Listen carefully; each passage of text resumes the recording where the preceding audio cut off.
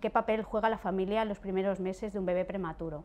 Hago una pequeña introducción, pero creo que aquí el papel principal lo tiene Rita y diría que juega todos los papeles. La familia juega todos los papeles eh, cuando nace su hijo y es indispensable el cuidado de los niños eh, al nacer y sobre todo pues, de forma prematura.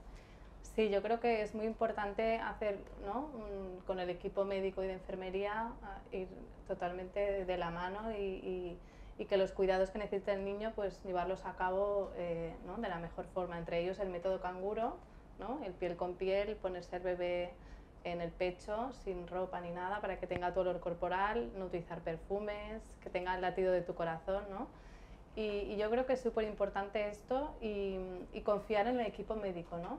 porque al final, bueno, son momentos de incertidumbre que nadie sabe lo que va a pasar, pero si confías en ellos y haces lo que, los cuidados que te van comentando, eh, al final todo sale bien. ¿no? En mi caso todo ha salido bien, hay casos que quizá no, no tenga tanta suerte, pero eh, es muy importante seguir las, las, directrices y una cosa que nos fue muy bien, en mi caso, eh, es que explicaban muy bien ¿no? las cosas las veces que, hicieran, que fuese necesario, ¿no? porque cuando vives un momento tan, una maternidad diferente, pues que te lo explique varias veces para entenderlo. Y sobre todo al principio, ¿no? que estás como en shock y, la descarga de tanta información es normal que no la proceséis correctamente y a, la larga ¿no? van...